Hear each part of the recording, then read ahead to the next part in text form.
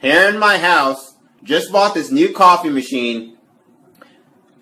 I like to make coffee in it. But you know what's better than making coffee? Eating ass. What? No, nigga! You doing, You filthy motherfucker!